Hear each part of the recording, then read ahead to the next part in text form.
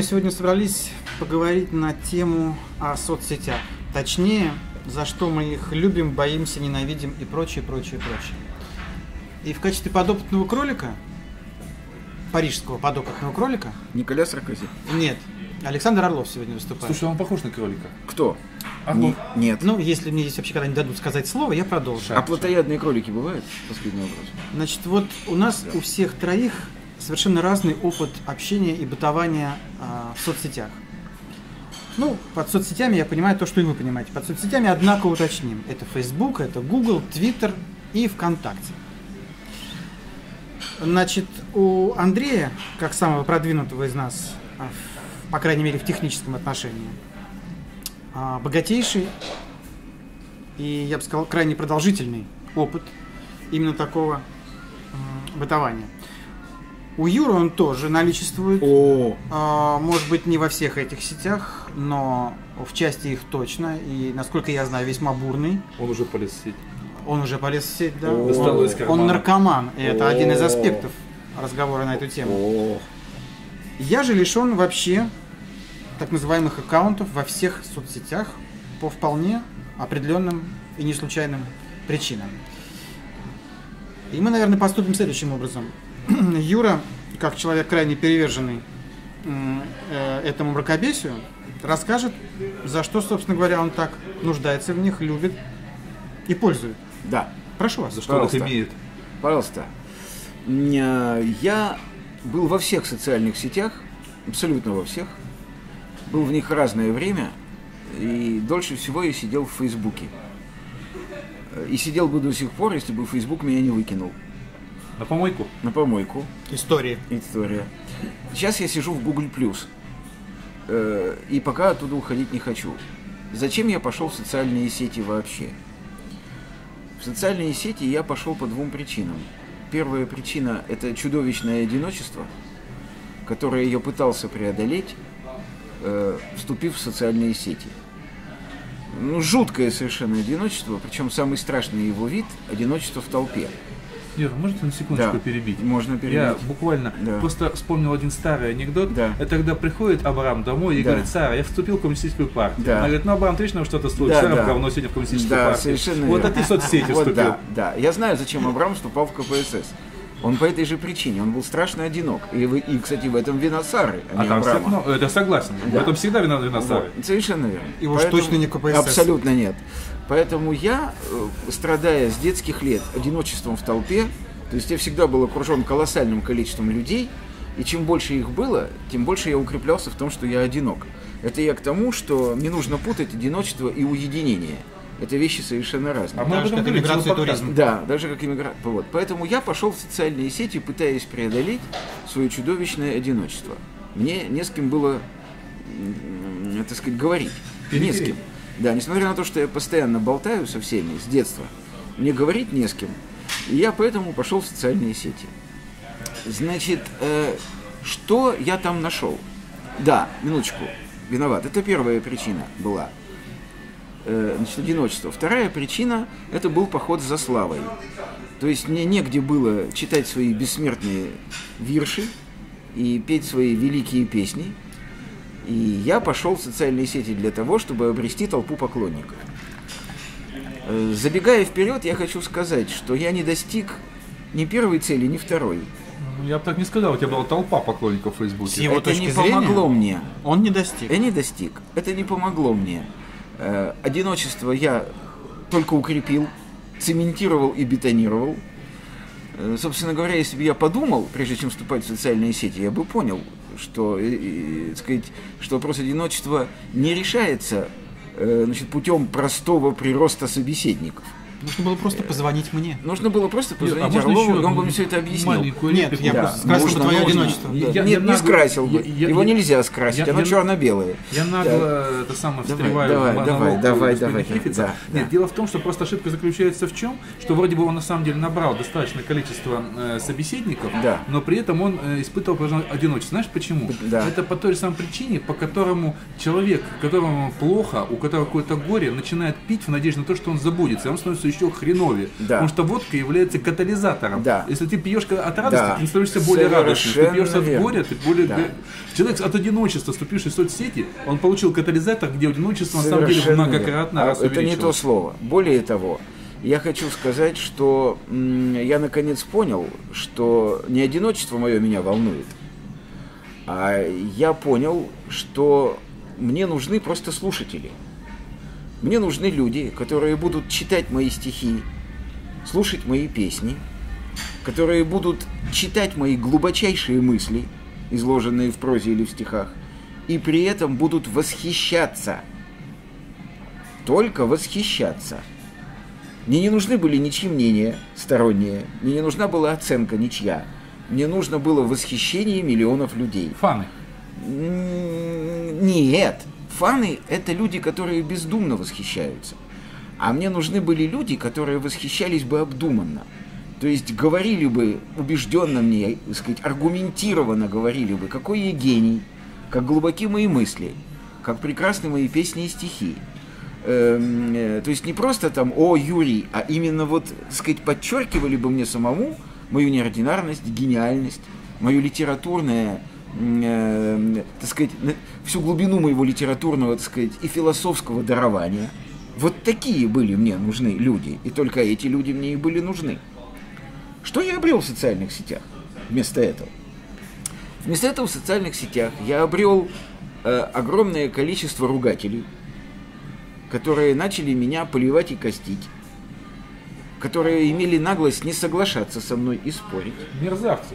И я немедленно стал впадать в чудовищное раздражение, и ссориться с ними, и скандалить. И вместо толпы почитателей я обрел огромное количество врагов. Это первое, что я получил. Что касается славы, Плюс прекрасно проведенное время. Плюс прекрасно проведенное время, естественно. Плюс расстроенная нервная система и так далее. Значит, испорченное настроение на многие Выпавшие зубы. Выпавшие зубы, волосы. Волосы. и иллюзии. То есть весь комплекс, эм, так сказать, усугубившихся проблем. Так вот, вопрос славы был никак совершенно, он не был абсолютно решен. Я до сих пор так и не получил ни славы, ни денег. Э, И таким образом я могу сказать, что мой поход в социальные сети закончился полным провалом. Причем это э, в самой меньшей степени это упрек в сторону социальных сетей или людей, которые туда приходят. Это, естественно, упрек, обращенный ко мне самому. Почему тогда возникает вопрос, почему тогда я не могу теперь из социальных сетей уйти? Ну, казалось бы, ты вот увидел, что ничего, так сказать, тебе не помогло. Вместо славы, поклонников, уважения, почета, э, сказать, размножения почитателей твоего творчества, которые будут хором кричать, какой ты гений, ты ничего этого не получил. Почему ты теперь не можешь из социальных сетей уйти? Я не могу теперь из них уйти потому, что я э, надеюсь, что количество перерастет в качество. То есть мне все-таки кажется, что если я размещу в социальных сетях не 400 своих стихов, а 400 тысяч, то эта накопившаяся масса воды прорвет плотину, и в конце концов я обрету известность, популярность, славу, толпу аргументированно восхищающихся мною поклонников и так далее. Короче говоря, я совершенно обычный наркоман. Нет, ты творческий спамер. Ну, творческий спамер. Как угодно меня можно назвать. За слово творческий огромное спасибо, конечно. Да. Нет, ну кто-то Да. гадит рекламой, ты гадишь стихами. Я гажу стихами, совершенно верно. Причем тут творчество я понять не могу. Особый вид годливости. Особый вид годливости, да. Таким образом, что я могу на своем негативном примере утверждать? Или пытаться утверждать? Я могу утверждать, что здоровые, нормальные, умные, самодостаточные, успешные люди в социальных сетях не живут. Им там нечего делать. Разумеется, есть э, некое количество здоровых, самодостаточных, умных, спокойных, ценящих себя и свое время людей, которые ходят в социальные сети ради своего бизнеса. Не, про этих мы не говорим. Да, ну это нет, работа. просто, да, просто это работа, Да. да. Мы имеем в виду, говоря Совершенно о верно, совершенно верно, да, да, да. А тех, кто там живет, Совершенно верно. Так вот, кто там живет? Не с целью работы, а вот, так сказать, каждый... Не вылазит значит, оттуда. да, значит, значит, любой другой цель. Токма непонятно для чего Совершенно для. верно, да. Это глубоко больные, несчастные, одинокие люди, мучающиеся диким комплексом не комплексом одиночества и всеми другими комплексами, которые свойственны людям, не достигшим в своей жизни тех целей, которые они перед собой уставили. Пребывание в социальных сетях – это гиперкомпенсация собственного ничтожества. Ничего другого за ними не стоит. Теперь, плохо это или хорошо? Безусловно, это хорошо. Потому что социальные сети – это помойка, в которой собираются все те, кто мог бы на почве гиперкомпенсации своего ничтожества Хулиганить на улице. хулиганить на улицах, вступать в политические партии, э, э, значит, превратиться в Дали сексуальных маньяков. чтобы мы не хулиганили на улице. Пусть хули... Нам нужно ходить на работу. Да, совершенно верно. Совершенно верно. То есть социальные сети это колоссальное Ну, благо. они гады, даже на работу не ходят. Совершенно верно. Это Юр, да, тогда да, у меня да. опять же совершенно безумный вопрос. Давай, да. Все мы знаем, что э, большинство событий последнего времени происходит с участием соцсетей политических. Я- и вот. ты говоришь, гиперкомпенсация, Вот. а получается, люди делают и то, и другое, Вот. и чудесно при этом. Это другая тема, потому что я совершенно утверждаю, что э, э, та якобы политика, которая делается с участием социальных сетей, политикой не является. Это шоу-бизнес. А сейчас все шоу-бизнес. Нет, минуточку. Минуточку. Настоящая политика, и она, пусть и в мизерном масштабе, но в России сегодня присутствует, это планомерная, спокойная работа каждого человека над собой и общества в цели, и, так сказать, общество целиком тоже над собой, планомерное воспитание в людях демократических ценностей, планомерное воспитание в них, м, э, так сказать, э, собственной осознанной жажды свободы. Это планомерное продвижение людей по пути самосовершенствования. Поэтому те, кто не озабочен вопросами шоу-бизнеса, выйти, поорать, подраться, покричать, показать, побиться с ОМОНом, а потом все это бурно обсуждать, те люди, которые действительно озабочены благом России и благом российского общества, они не через соцсети решают свои проблемы. Они занимаются планомерной, поступательной, спокойной работой по демократизации и нормализации общественных отношений. Меня в этом смысле жутко обрадовал оставшийся незамеченным пост Ирины Ясиной на сайте «Эхо Москвы», которая написала, ребята, вот я вижу вас, как вы ходите на улице, орете, кричите, деретесь, все замечательно. А почему бы не начать спокойно, с уровня муниципальных образований, снизу, спокойную, многолетнюю, планомерную... Окей, уже Максим кто-то- Кац и прочее. Ну, Максим Кац. На одного Максима Каца Ну, он там не один, приходится... Печалова. Да, на одного Максима Каца приходится миллионы не Максимов, не Кацев. Ну, начинается все-таки Э, возможно, одного, трех, не с возможно. сразу, да? Но работа эта, вот планомерная, спокойная, муниципальная работа по построению нормального общества с низов, со снов, она незаметна. Ну, она не на виду. Ну, мы немножко пере- перемещаемся Не-не-не. в сторону другого. Я про другой- политику говорю, да. Да, но- Поэтому социальные сети к политике никакого отношения не Ну, имеют. хорошо. Это шоу-бизнес, господа. Ну, Ну, я- это я свое мнение Ну, да, высказал. окей. Это же мое Да. мнение. Вот, поэтому социальные сети, как я уже сказал, это прекрасный, замечательный пылесос, который отсасывает и кому Вау. и отсасывает Вау. за копейки. Вау. Да. Отсасывает и кумулирует в себе всех тех, кто, осуществляя свою политику гиперкомпенсации своего ничтожества, без социальных сетей был бы автором и участником возмутительных событий. Начиная от простых каких-то уличных тусовок, которые мешают двигаться велосипедистам, собачникам и просто гуляющим гражданам, до полномасштабных бунтовских квазиреволюционных событий и движений. Можно поиграть в тупого? Я вот до сих пор ради вот сижу, тебя слушаю, Да. слушаю. Нет, фиг с ним, что ж ты, сейчас только что а, а, а, обгадил, буквально Да. насрал на головы кучам людей, с которыми в том числе и ты общаешься. Это Он на еще- здоровье. Он еще ответит за это. Это, это, это удобрение. Через несколько минут он ответит за это. А перед кем? Можно Нет, суть, даже не в этом. Я Да. дальше продолжу играть в идиота. Я до сих пор э, не понимаю, а чего же, э, скажем так, где-то года до 2005 Да. делали все вот эти безумные, по твоему мнению, люди, Да. которые сейчас собрались в соцсетях, Да. а до этого вроде бы тоже и магазины не громили. А я тебе легко и- и объясню. далее. А я тебе легко объясню. Дело в том, что э, антисоциальный темперамент, то есть общественные настроения, они нарастают в обществе постепенно.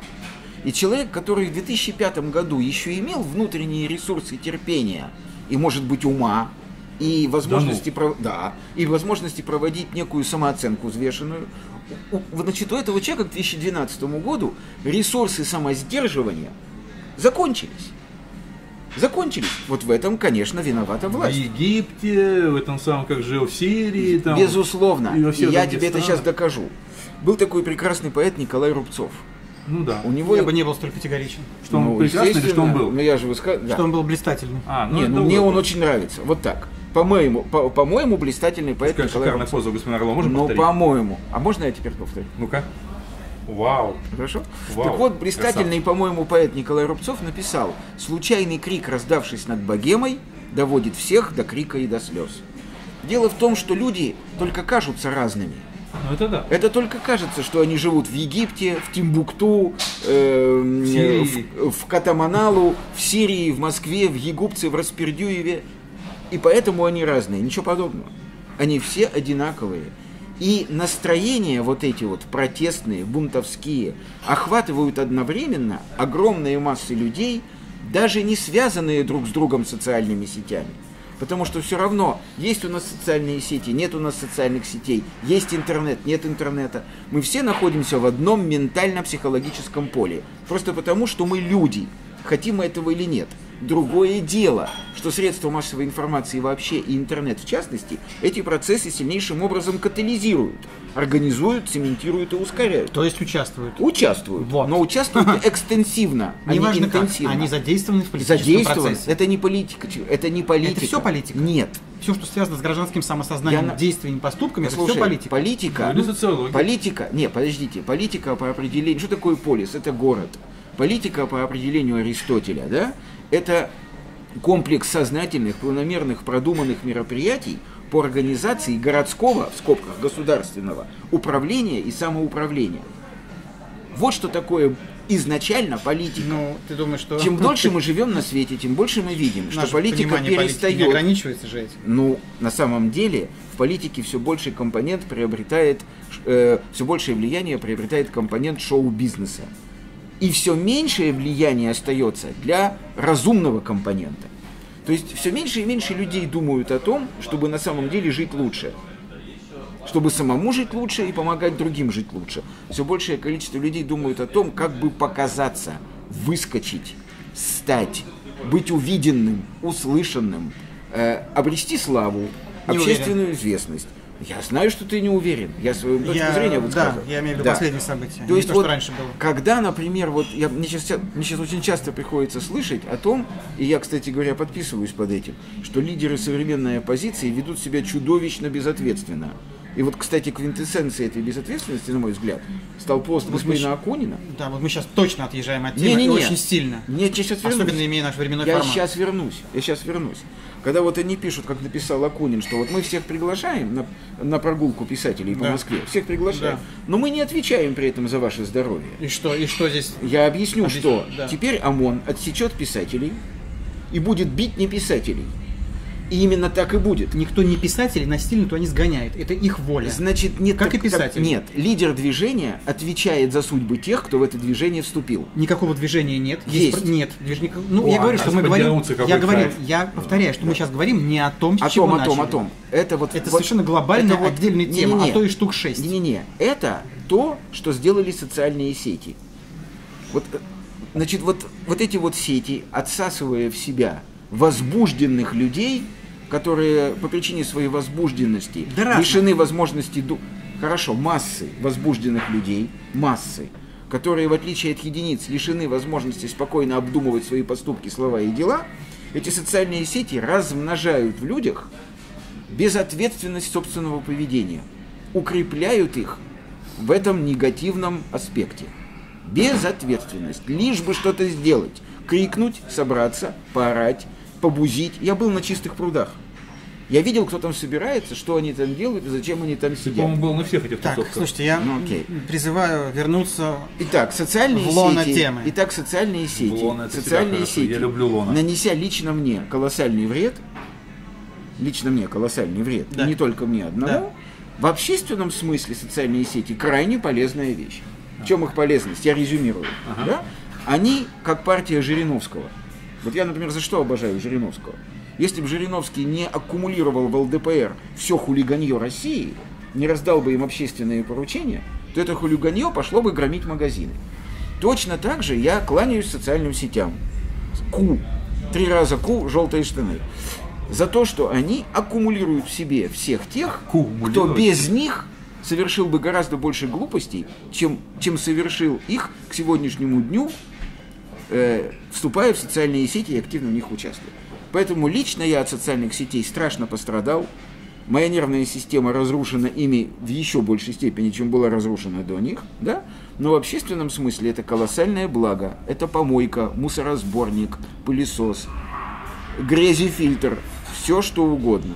Хау, я все сказал. Вот. На самом деле, э, господин Хейтиц даже сейчас не подозревает, какой только что глобальный реверанс, на самом деле, какой глобальный комплимент Да. он сделал соцсетям. Почему? Я Вот. понимаю. Потому что нет, на самом деле он вообще тонкий политик. То есть люди со стороны, вот не вдумываясь, не вслушиваясь, могли подумать, что он ругает соцсети. Да. Но это ведь человек недаром хорошо разбирается в пиаре, там, в рекламе, во всем остальном. Да. Он настолько хорошо только что прорекламировал почти все существующие, а особенно самые основные соцсети. Да. Он настолько тонко сейчас вообще подвел к тому, что соцсети это вообще глобальное добро, назвав Да. его глобальным злом, Да. и назвав себя тем самым ежиком, который продолжает жрать кактус, да? Ну, вот, что это просто колоссальный пример Да. того, что соцсети это колоссальное Ну, добро, вот, да? Нет, ну давай тогда не, минуточку, чтобы, так сказать, не вводить никого в Мы заблуждение. никому ничего не, Не-не, вводим, мы спокойно пьем чай. Не-не, чтобы не вводить никого в заблуждение, давай скажем, что я за это не получаю денег от Что удивительно.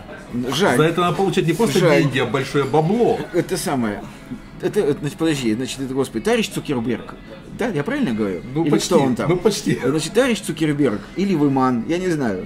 Э, товарищ Цукербергман, возьмите меня на зарплату. Я много не возьму, но пользует меня, как видите, дофига. Так, ну хватит, О! нужно положить конец этим стенаниям, уже невозможно уже. Уже, уже эти вышибания слезы, бабла, вообще все только может, колбасы, я не знаю, всего. Колбасы. Жалко что ли? Значит, теперь, Да. Как обычно, ненавистью. 3-4 слова о том, как обстоят дела на самом деле. Кстати, примечательно, Андрюш, твоя реплика о том, что он говорит одно, а на самом деле А это всегда так. другое. Есть Я Фемистофель. я вас поздравляю с тем, до чего мы докатились в этом смысле. Да. А, значит, э, Только не волнуйся. что происходит в действительности? Значит, те э, люди ненормальные, о которых говорил Юра, на мой взгляд, это малая талика того, кто присутствует в соцсетях. В соцсетях присутствует огромное количество так называемых обычных скучных людей. Офисный планктон а, в избытке и подобные ему страты, которые... Кто? Ну это материться. Это сложное слово, я потом тебе объясню. Ну, Страта. Страта? Страта. Ну, Слои, классы. А, Ну, тратами окей, окей, окей, окей, ну окей, окей. Там в конце будет ссылка. Я понял, извини. Ссылку не надо, в России это слишком опасно. А, Так вот, Страта. значит, а, я даже не могу, говоря о собственном отношении к соцсетям, я совершенно далек от позиционирования их в рамках хорошо это или плохо. Это неправильный подход, это у- подход упрощает а, саму суть вещей. Дело вот в чем. Когда меня друзья и знакомые, у которых давно уже есть аккаунты во всех соцсетях, мыслимых, немыслимых и даже еще частично не созданных, спрашивают меня, а почему ты в этом смысле Выделяешься. э, не имеешь своих аккаунтов ни в одной соцсети? Же уже неприлично просто. Уже там почти 2018 год, у тебя еще нет ни одного аккаунта. И мой правдивый, наивный, но предельно честный ответ, Не что хочу. мне это не нужно, не является убедительным для них. Они, видимо, думают, что я темню, не хочу называть истинной причиной и прочее, прочее, прочее. Меж тем, это именно суть того, о чем я хотел поговорить в отношении соцсетей. Мне это не нужно. Я не понимаю, для чего мне это. Я работаю, у меня есть несколько видов и полей занятости. А, и очень много времени уходит именно на это. И я не могу себе представить, что я сижу перед компьютером и общаюсь с кем-то на непонятно какие для меня темы, значит, я сразу отметаю темы бизнеса, я имею в виду под соцсетями праздное общение, да, не его социальную функцию, то есть, например, кому-то с помощью сетей, сетей социальных спасли жизнь, потому что вызвали врача, например, да, опередив скорую помощь, что, наверное, неудивительно. Это святое дело. Я сейчас не говорю о людях, которые с помощью соцсетей делают свой бизнес. Да, мы говорим о тех, кто там праздно проводит время. Подчеркиваю, праздно проводит время. Меня могут упрекнуть в том, что а где провести границу между праздным проведением времени и не праздным, а полезным. Это довольно трудно ответить на этот вопрос, однако думаю, что каждый прекрасно понимает, где для него самого проходит эта граница. Прекрасно понимает. Я имею в виду в первую очередь, конечно, взрослых людей. Ибо мы говорим только о них, о детях в данном случае мы не говорим. Так вот, зачем мне нужны соцсети? Зачем мне нужны пребывания там? Чтобы что? Чтобы прочесть а, переразмещенную информацию от моих друзей о том, что происходит в стране и в мире, да? Потому что это целая категория так называемых постов. Не высказывание собственных мыслей, а просто переразмещение информации. Ссылки. Ссылки. С комментариями или даже без комментариев.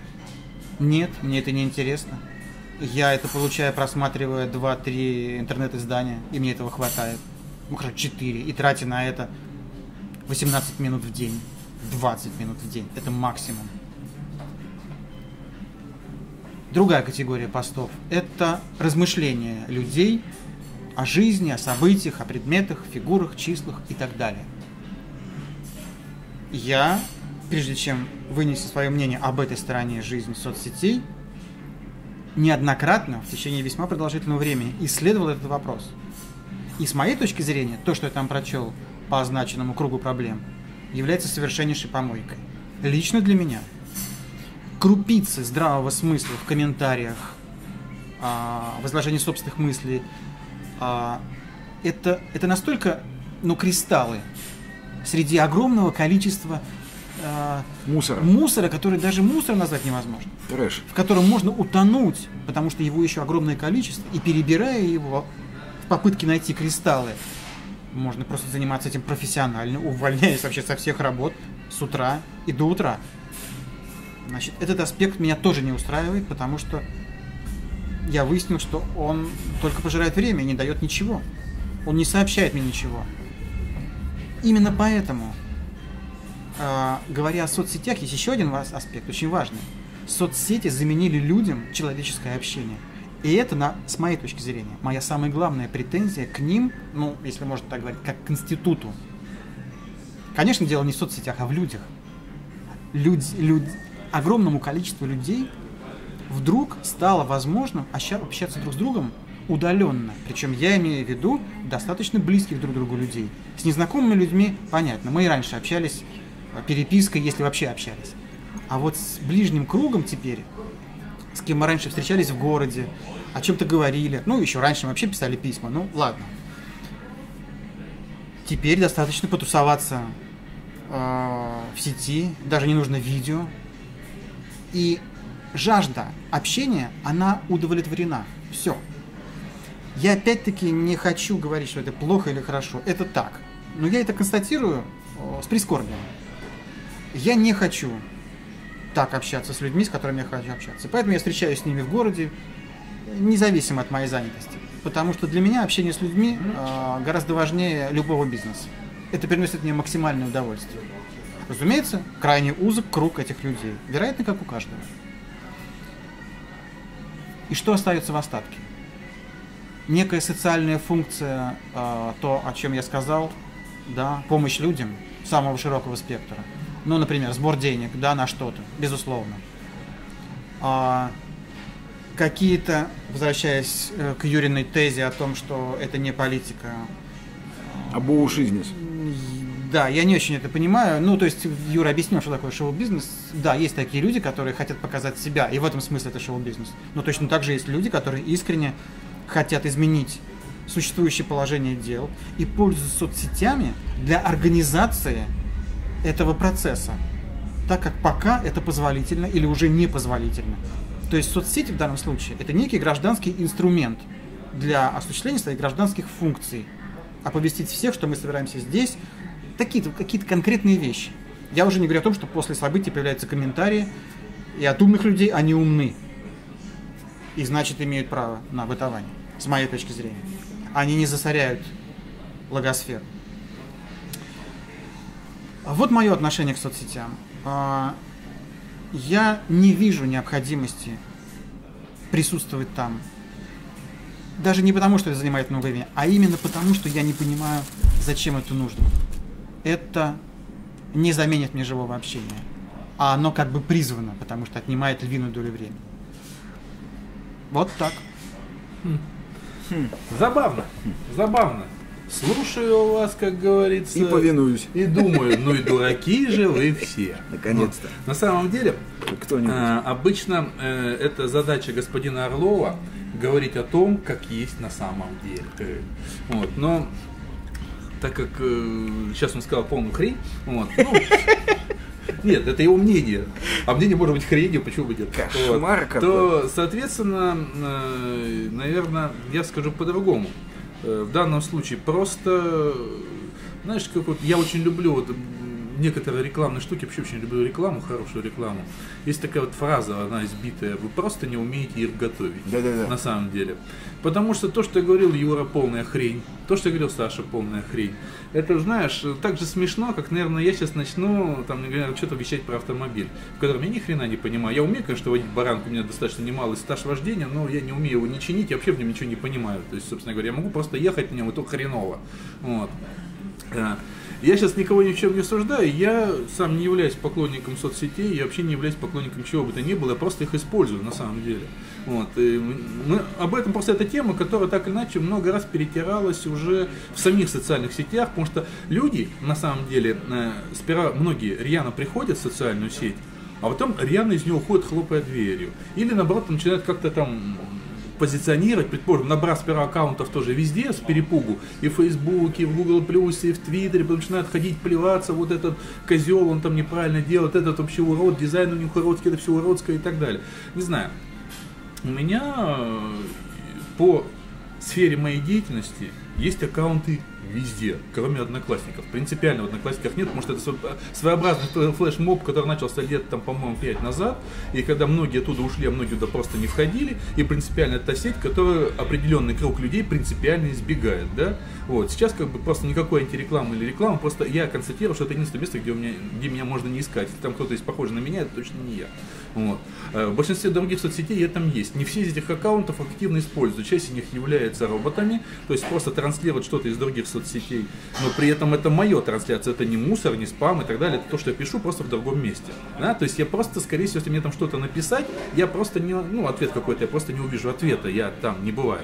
Да? Но есть определенные соцсети, где я теоретически бываю физически постоянно. Да, это, предположим, Facebook, это, предположим, Google+, это Twitter и с некоторых пор ВКонтакте, потому что она реально очень сильно изменилась в лучшую сторону. Она хорошеет на глазах. Плюс у нее вышел обалденный просто мобильный клиент, для меня это важно.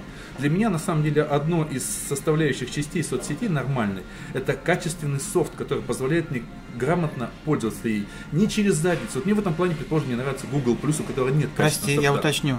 Что для тебя важно? Софт, программное обеспечение. Которое что позволяет? Пользоваться этой сетью удобно. А для чего она тебе? Я объясню.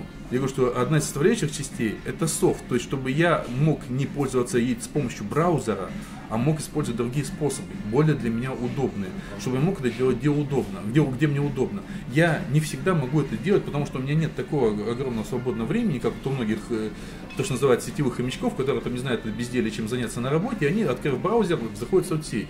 Я в соцсеть захожу целенаправленно, вот, и захожу где угодно. Могу стоя посреди Арбата это сделать, могу стоя посреди Монмарта это сделать, могу стоя там, не знаю, посреди туалета это сделать, где угодно, потому что по какой-то причине именно сейчас я решил что-то написать. Э, соцсети я в свое время начал использовать, ну, началось это с Твиттера вообще, потому что я был до этого и в ЖЖ и так далее, но вот активно я для себя нашел э, смысл в этом именно в Твиттере в 2007 году, когда впервые меня э, именно по- по- появление возможности писать мобильно где угодно, Потому что ЖЖ в этом плане мне был менее удобен.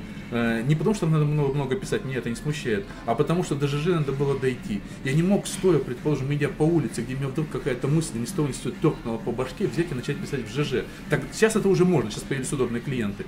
Вот, тогда это было невозможно. Но в Твиттер я мог написать смс, в Твиттер я мог написать через мобильный клиент, как угодно. Стоя посреди где-нибудь улицы, там Красной площади или еще где-то, я мог начать писать. Для меня это было интересно. Я решил, вот что-то вот написать, может, я знал, что если я дойду до дома, я уже, скорее всего, хочу писать. Я, может, даже еще и забуду, о чем А я что ж ты писал?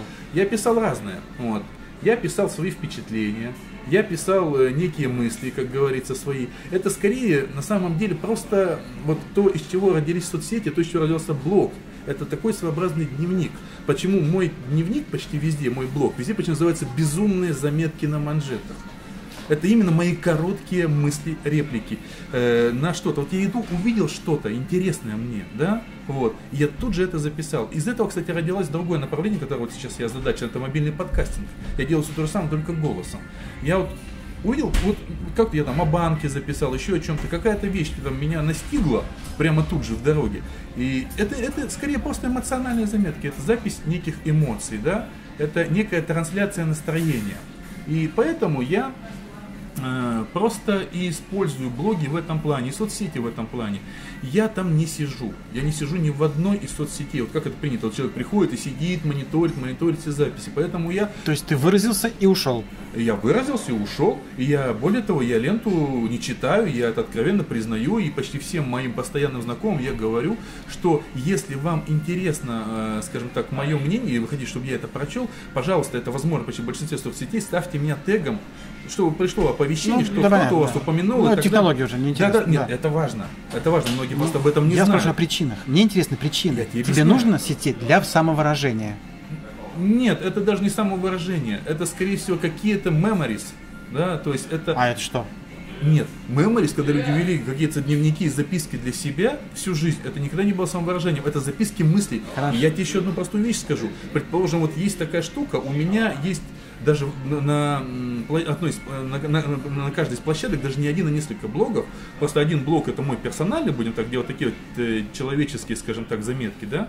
Вот. А один из блогов это технический, где э, пишу заметки о сервисах, о каких-то, не знаю, так, программном обеспечении, еще о чем-то.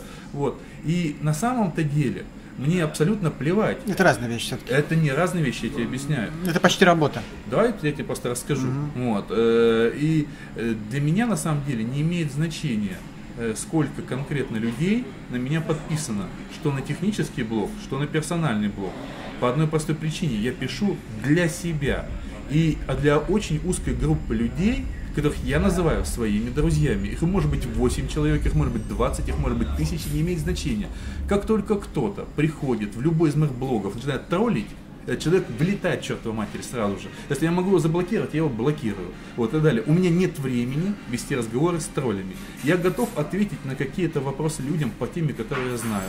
Я готов коротко что-то обсудить и далее. У меня нет времени на то, что принято популярным в соцсетях, да.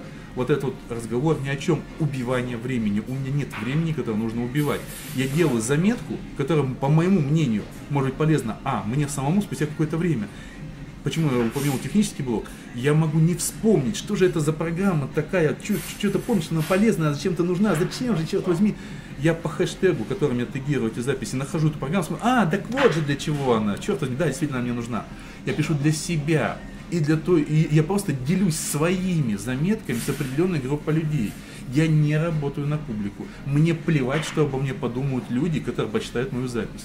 И мне совершенно неинтересно привлекать много людей. Я не размещаю рекламных постов.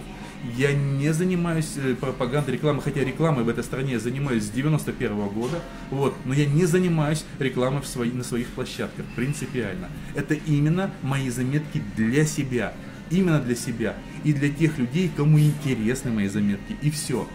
Более мне никак не интересно по-другому. Плюс, еще какая штука насчет э, правильно готовить. Э, я много раз говорил, что более 90% моих друзей, товарищей, коллег, с которыми я все либо когда-либо начинал здесь, начиная там с конца 80-х, когда я начал этим заниматься, уехали из страны.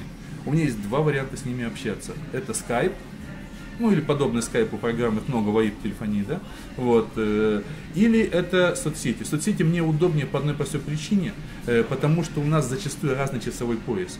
Хоть я и работаю почти 2 часа в сутки, но мне все-таки удобнее написать, а им удобнее написать ответ мне тогда, когда им удобно. Все, технология, не более того. Да, это, это аспект неинтересный, потому что это сродни телефонному звонку. Нет, Для меня есть это, это не называется бытование в данном случае, в этом аспекте, в соцсети. А это... я не живу в соцсетях, Не, не, я уже сказал. не, я нет, вот смотрите, вот есть очень важный аспект, о котором я а, не сказал. Между тем он действительно очень важен для меня. А, Для многих же, да, массовость соцсетей в России началась все-таки, наверное, живого журнала, да, Да, ЖЖ, все-таки, да, насколько я понимаю. соцсеть, Первая основная соцсеть. Вот. И мне всегда казалось крайне странным, что дневник, личный дневник человека становится вдруг публичным. Это настолько противоречило тому моему, может быть, ошибочному пониманию того, а что является сутью дневниковой записи и дневника как категории литературной, социальной, общественной и так далее. То, что люди а, делали его публичным. Казалось бы, ты хочешь вести дневник для себя, да? Разве раньше те, кто вел дневник и писали, давали его читать людям? Нет. Это Смотри. после, это, после, это после их смерти умные родственники позволяли, в кавычках умные, публиковать, если это был известный человек.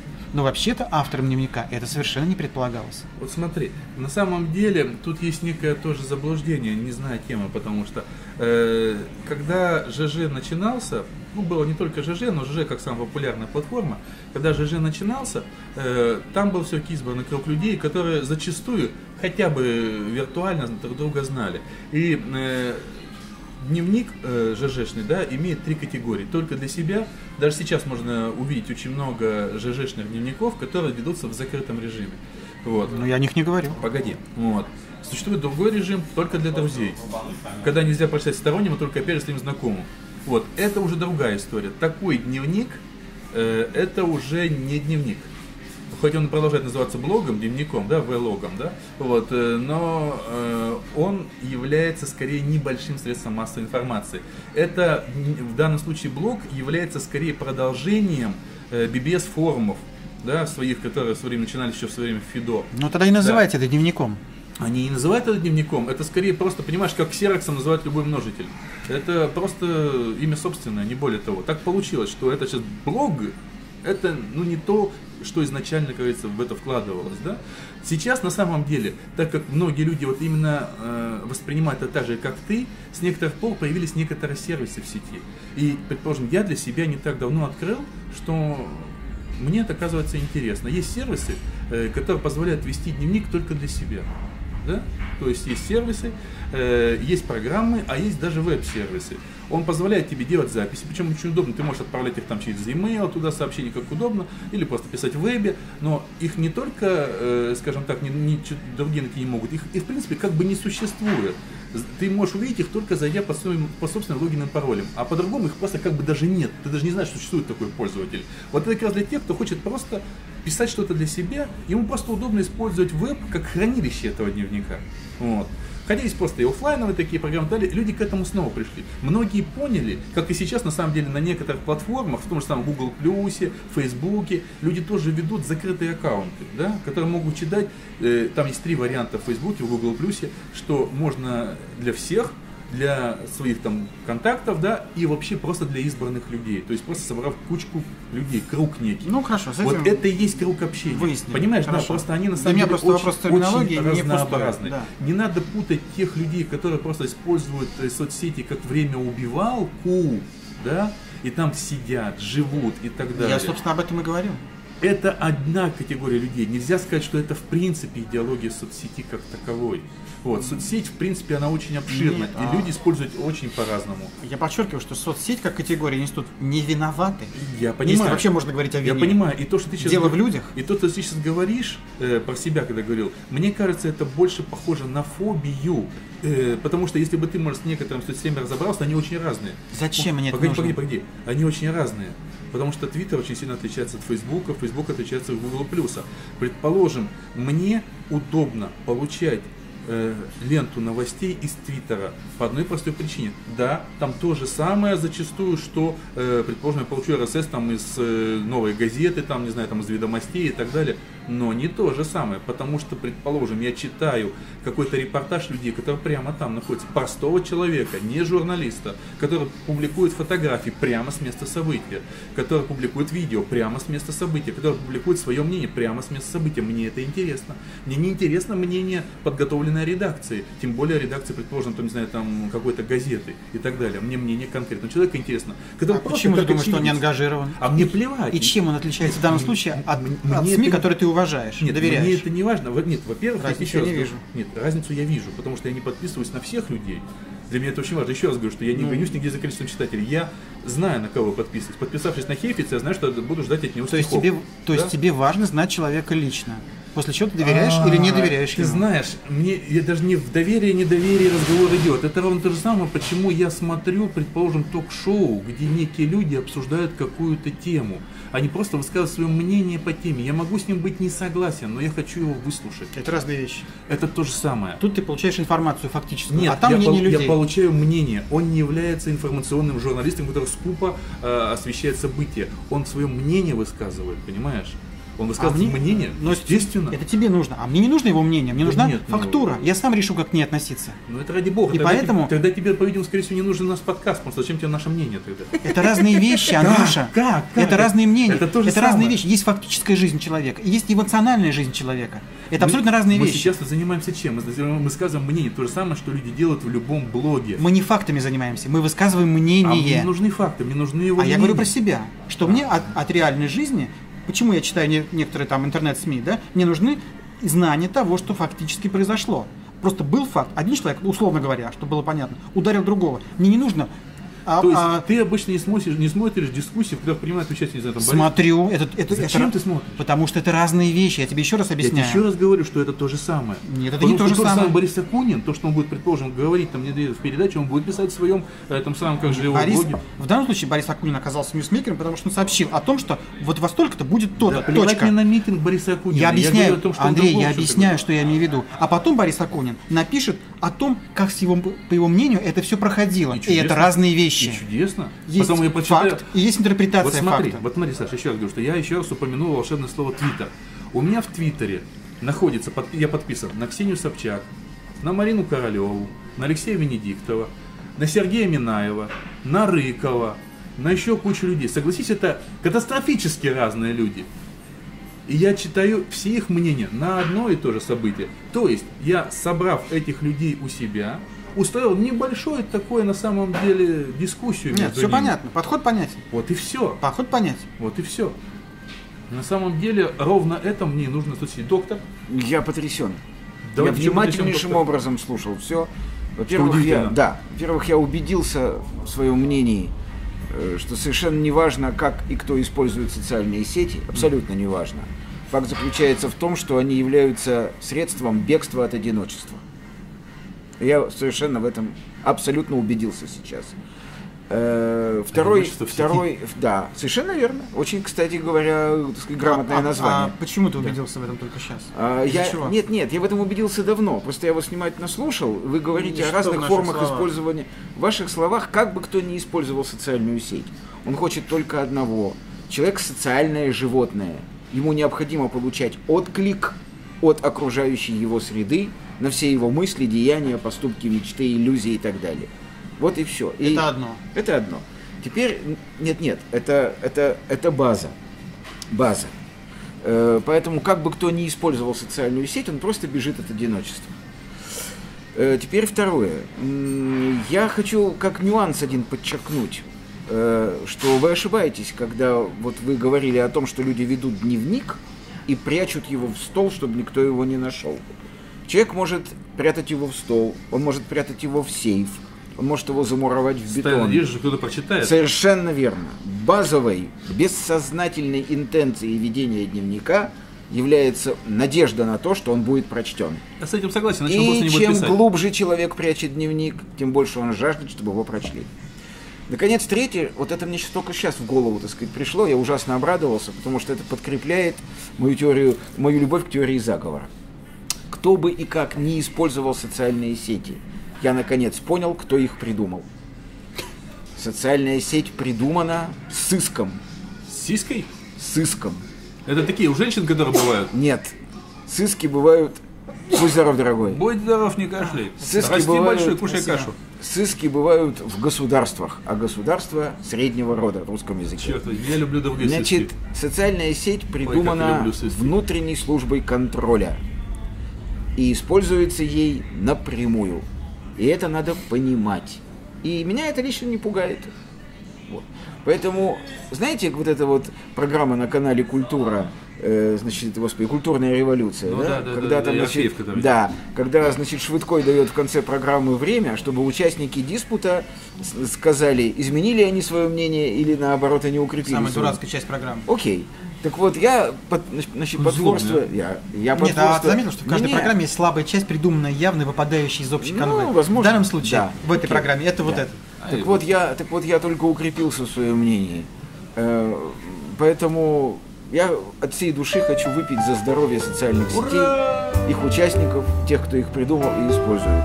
Нет, я не хочу за это пить, я хочу выпить Хорошо. за другое. За другое. Я хочу выпить, чтобы люди, налей трезво, сперва себе, у тебя ничего пить. чтобы люди трезво понимали, что они делают, и то есть думали, Выпить, насколько, чтобы трезво понимали. нас- насколько им нужно, Вау. Насколько им нужно участие в тех или иных социальных проектах.